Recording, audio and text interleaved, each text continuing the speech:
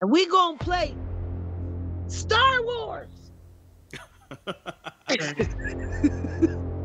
so you think you think he was Diddy's concubine? Absolutely. The gave me something I smoked. It was called the Snoop Doggy Dog. They told me only take four hits. I took more than four hits. I was naked and dancing in front of his window. But you better believe I will have my say. Gene Deal has been on a roll lately, and this time he is exposing the dark truth about what happened to Fonzworth Bentley, one of Diddy's alleged concubines. You got a lot of people, man, that's wondering why Fonzworth Bentley, you know, why he hasn't came out and defended Diddy. You know, they was real cool at one point, you know, so. Well, I was there when Fonzworth Bentley got his actual name. How they came up with the name and everything. We were sitting in front of the uh, apartment building on 74th and Park Avenue. It was me, him, Tony De. Puff was upstairs. They was trying to figure out. He had became Puff one of Puff personal assistants. You understand? To make sure all Puff shit is there when we get ready to go. Everything that was supposed to be in order. That was Fonzworth Bentley job. When Puff has to go to restaurants and places like that, you know, uh, he made sure everything was straight with that. You know what I'm saying? He had another assistant too.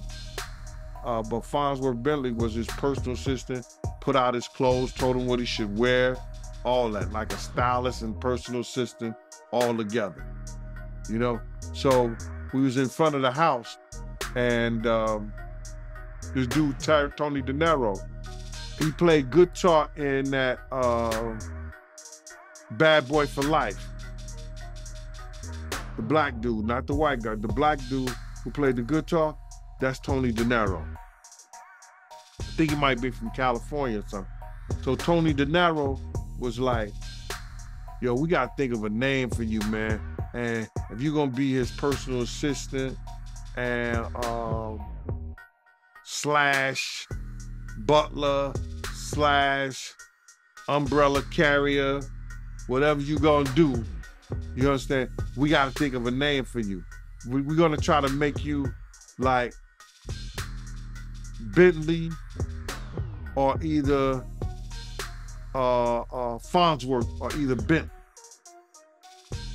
You gotta be, you know, you gotta have that kind of persona. You gotta dress all the time, be neat, and the whole nine yard. And then the dude, Derek, was playing with him, like, yeah, yeah, I know what you're talking about. I know how to do that. I could be over the top. You know, he was acting like that. He was always right there, but not like at nighttime when we was at doing things, he was he wasn't he wasn't around, bro. He was only there when the cameras was there and shit like that. You know, I don't know. You know, I don't know how much he was he could do. I don't I don't know if he would say anything because he probably signed the ND, a non-disclosure, and he don't want to say anything against Puff anyway because Puff got shit on him. And I ain't talking about no sexual shit, you, uh, none of that shit. The nigga was stealing, bro. yo, bro. The niggas are, yo, he got, he, I don't want to put that on sticky fingers. That nigga, that nigga right there, bro, don't lay nothing down around him. You heard me? Don't lay nothing down around dude right there. Dog, Jennifer Lopez had these, they cost $5,000. I'm like, what kind of fucking boots cost $5,000? Now you gotta realize this is like in 2000, early 2000. These boots cost $5,000. And because she was gonna be out of, out of the country or something like that, she didn't have them come to her house down in the village because she would have never got it because they'd be stealing her stuff down there at our apartment. So she had them come to Puff House. She wanted these so bad. She was mad. We, you know, they was they looked through everything trying to find Jennifer, because Puff had like a, yo, Puff. People used to just give him shit and send him shit from everywhere. So he had this room, this mail room, in his house with numbers just that he never even opened. But I don't know how Fonzworth Bentley found shit. But we went over there to his house and we found a lot of Jennifer and everybody else's that belonged to Puff. I guess I guess Puff had too much stuff in the room and he was just keeping them for it. And you seeing this with your own eyes? That's crazy, man. My own eyes, bruh. We went to his apartment. He don't even seem like that type of dude, yo. But damn, Security. Security also we went over there, man. They had to do shit, bruh. And that's why Puff had stopped messing with him. And then he goes get a show. Puff ain't say nothing. He went and got a show of how to be a teaching thugs how to be the gentleman. I hope the first thing he taught them on was that don't steal. This makes for an interesting comparison to the widely accepted narrative. The widely accepted narrative is that Derek Watkins adopted the moniker Fonzworth Bentley in the early 2000s, a reference to a character from the 1975 film Let's Do It Again. He got the nickname while working as a full time butler for billionaire producer Sean Diddy Combs, also known as Puff Daddy at the time. Diddy's desire for a fresh start arose from his legal problems, which included gun possession and bribery allegations following a nightclub incident in 1999. This resulted in a change not just for him, but also for Bentley, who became a key member of Diddy's entourage, assisting him in navigating the world of refinement and style. Bentley's career quickly took off after that. Despite beginning as Diddy's umbrella holder, he swiftly rose to prominence in television, music, and even writing. While he moved away from the umbrella, his influence on mainstream culture persisted, cementing his legacy as a hip hop icon for years to come.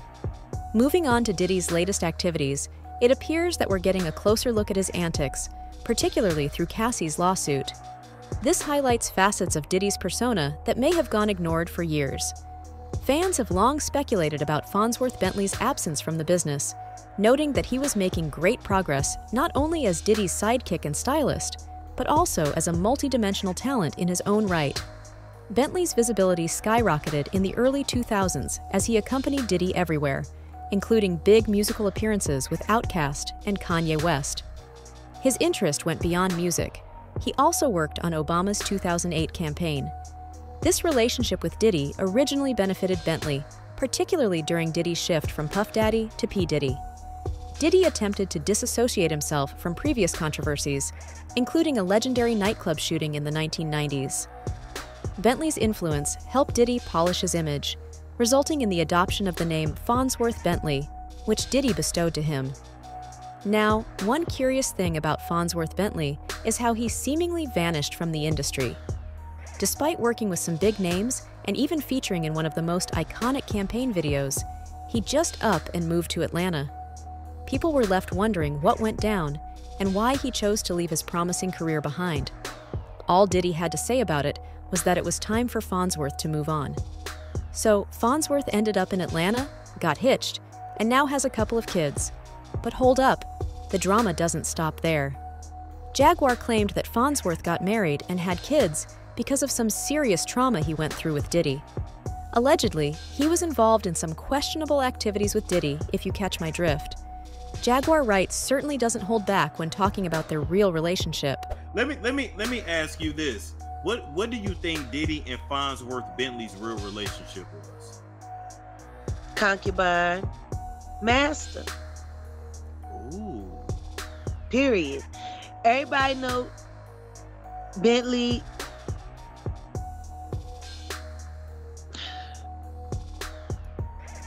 Everybody know. I think the thing that everybody is having a hard time grasping is how that whole thing could have probably went down. But the thing is, is it was how fast he disappeared. yes. Now he lives in Atlanta. He's married. He has two sons. He's living. Yeah. He's living his life. I mean, but how many? Listen, y'all. If you've ever lived in Atlanta, you know the majority. Uh, the ma- okay, the majority Yes. of them are bisexual and gay men. Yes, They just give up down the low. to be married and gave their life to God, and they're your pastor.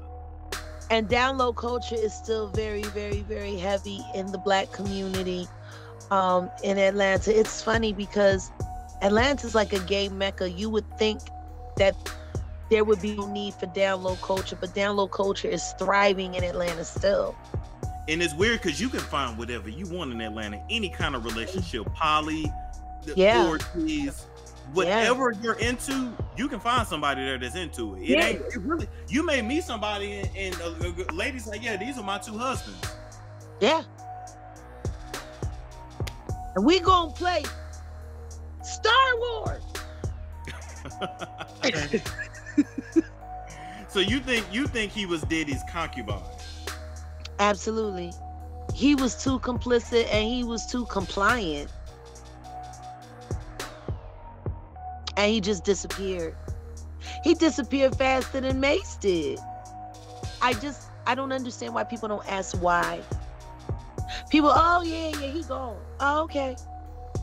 Nobody bothered to ask why. Why doesn't anybody ever want to know why?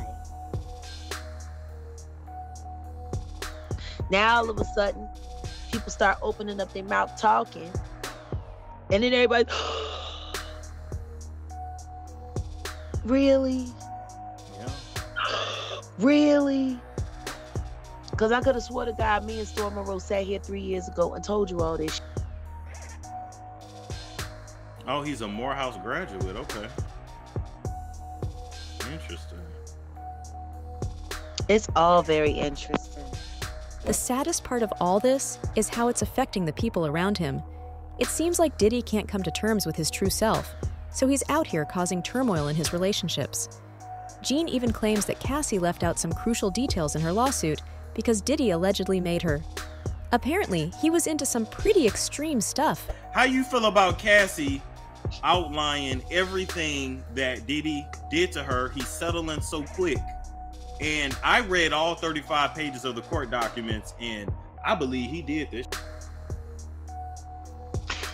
Well, as arrogant as he is, if he didn't do it, I guarantee you he wouldn't have paid. The simple fact that he paid so quick and it was wrapped up so fast, in my opinion, only lets me know that he knows. Let me stop the faucet of information here. Yes. I not only think that everything in those 35 pages is true, I think some shit was probably redacted. Yeah, they, they didn't put everything. I don't think they put everything. They didn't put every, but if they would have went to trial, you know, they would have oh, had to oh, go Lord. discovery. Man. Oh Lord. Give her the listen to me. This this Diddy. This Diddy. Hold on, hold on. Hold on. Wait a minute. I gotta get this Diddy right now on the phone. How fast can we liquidate? yeah, the boat too. the Bentley. Get rid of it. Rid. Yeah, no, no, no, need it in the morning. Heinrich Gutentag. Bankers. Cause you called it. You said he's a sex trafficker, and and and sure as sure as you were right. That's literally what she accused him of. Having yeah. all these freak offs. Uh, yeah. Um, forcing her to have with male prostitutes. How do you feel about him making her search for prostitutes who were dark skinned with big black? That's literally what he made her search for. I mean, that's what he into. Into BBCs. I thought it was also interesting that he wanted her to keep her nails white because he liked how it looked when it wrapped around the BBC. I said, you can't make this up. I mean, they got glow in the dark nail polish that accomplishes the same goal. But it's um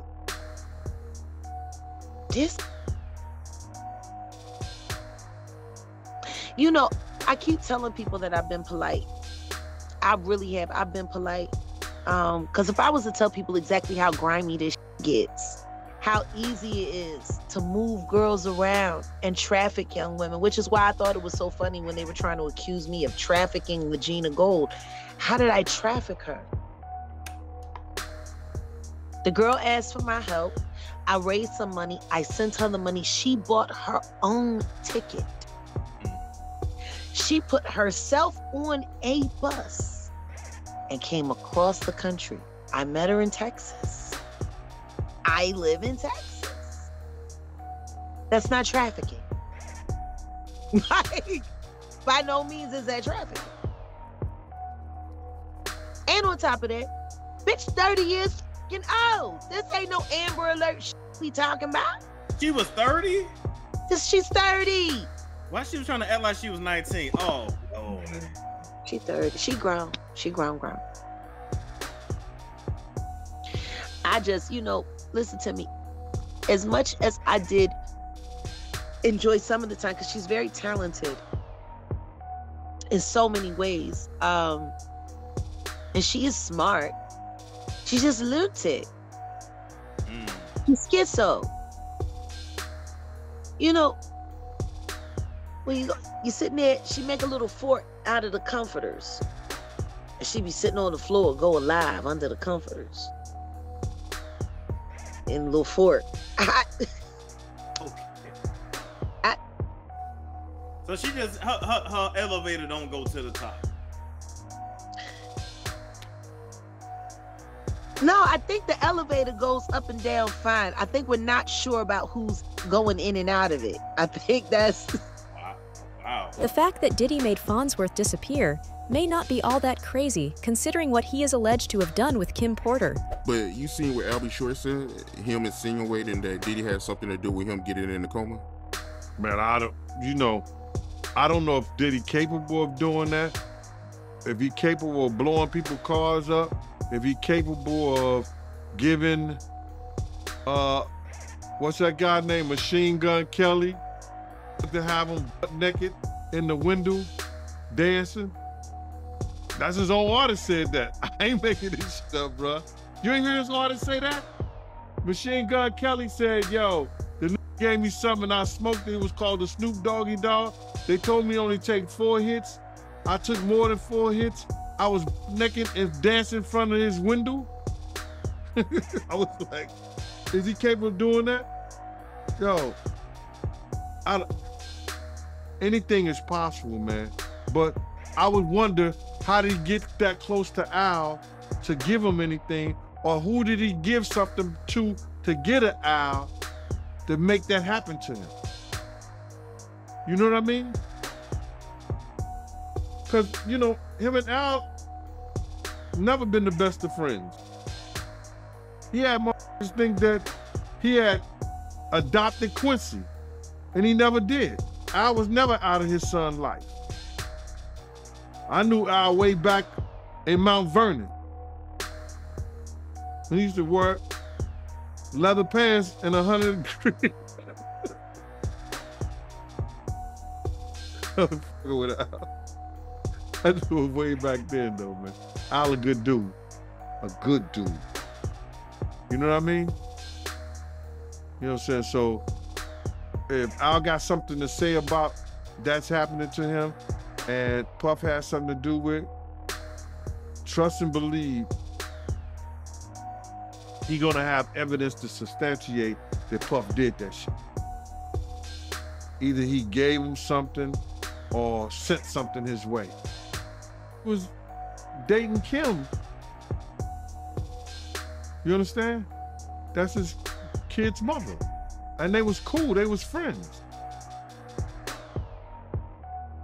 Misa and Kim was cool. They was all in that Uptown family, Uptown Record family.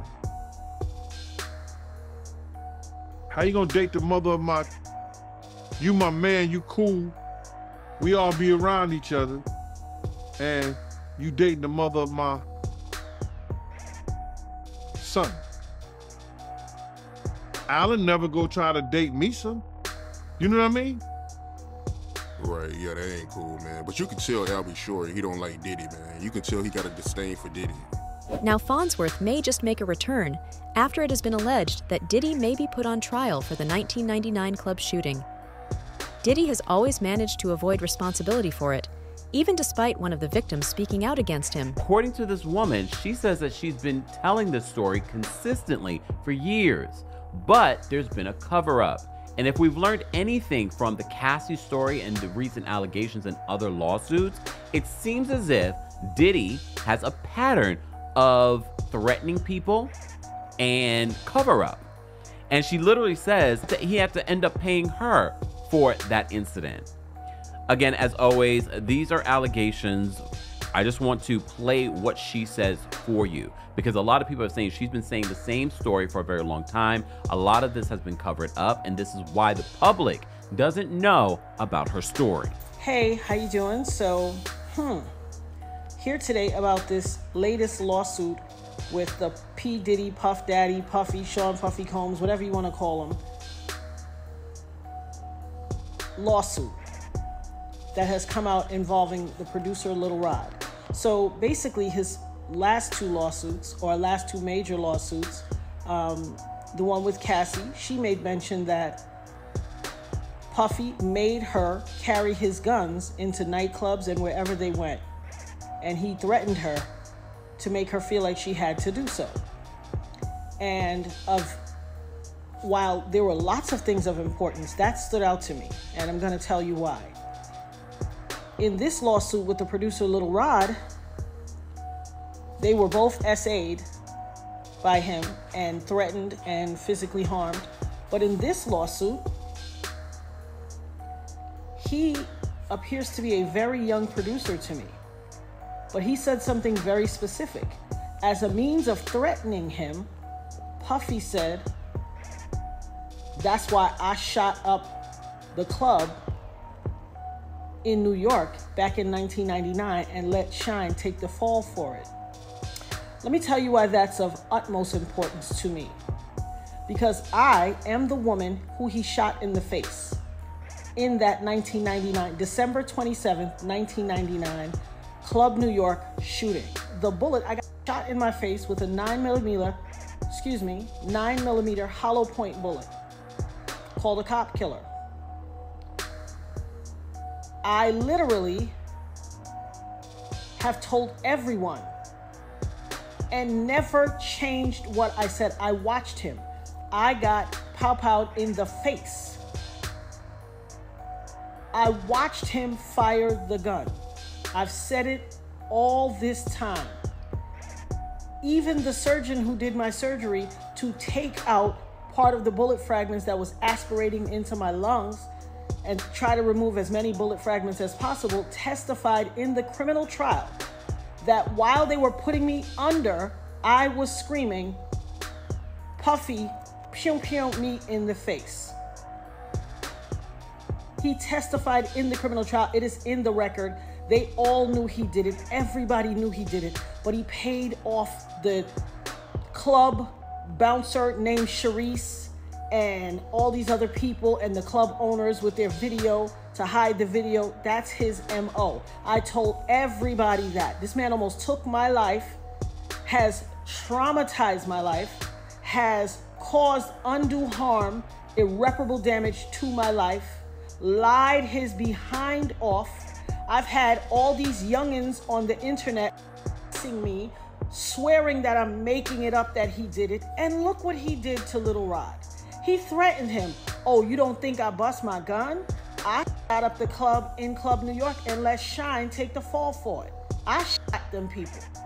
Well, well, well. It only took 24, 24 whole years for it to come out. You see this tattoo? This commemorates me getting shot.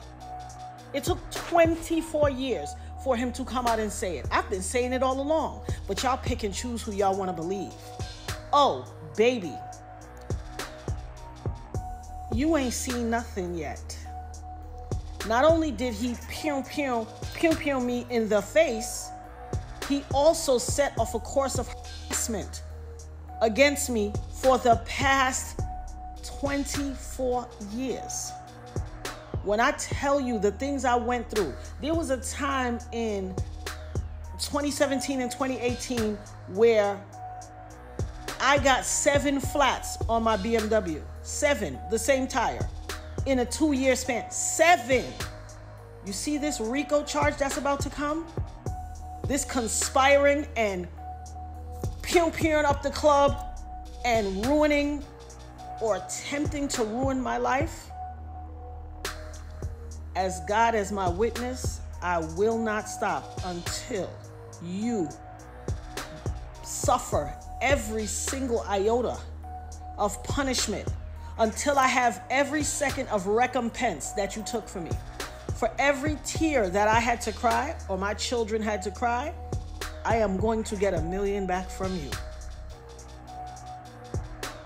I will not stop until you pay the price for what you did to my life. And for all you people out there on the internet and in cyberspace and in the far reaches of my life or the perimeters or wherever who always like, I'm she just saying that to get some. Hell, what you got to say now?